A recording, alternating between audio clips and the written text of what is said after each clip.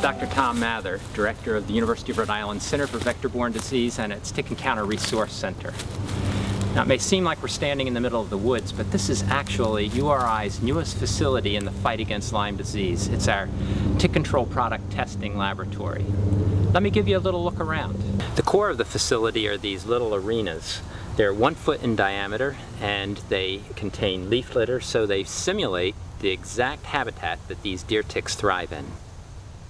We've got 60 nymphal ticks counted out in each one of these bottles and we're going to add 60 ticks to each arena.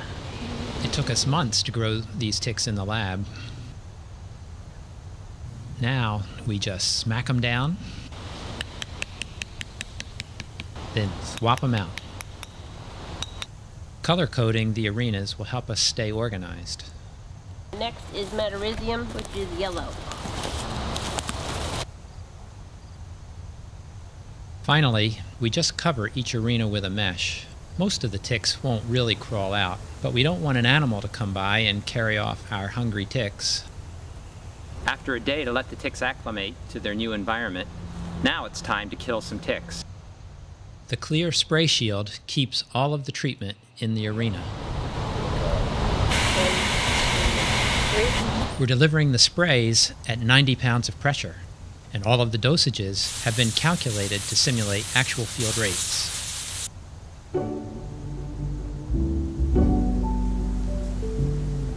When it comes time to see if we've actually killed some ticks with our treatments, we use these customized tick press boards that um, fit right into the arena. Matt, why don't you go right to it?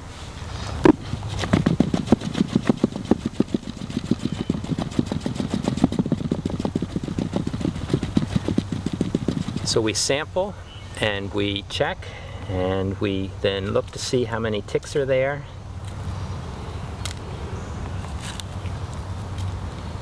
What do you see, Matt?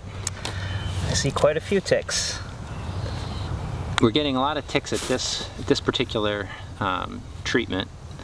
We'll have to look back at our records to see if it was either the water control or maybe one of the products didn't kill so many ticks.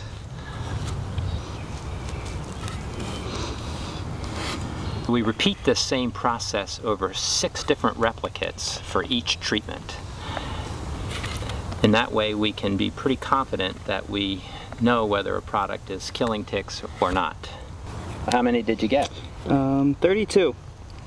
All right, so he's going to keep sampling until he doesn't get any ticks on three successive tries. The sampling process is repeated on days 2, 6, and 10 post-treatment.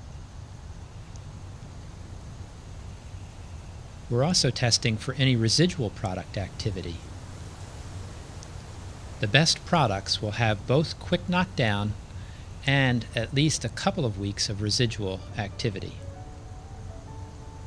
So we're going to keep testing minimal risk natural products here in our tick control facility until we find some products that really work well that people will use because killing ticks in your own backyard is a great way to prevent Lyme disease.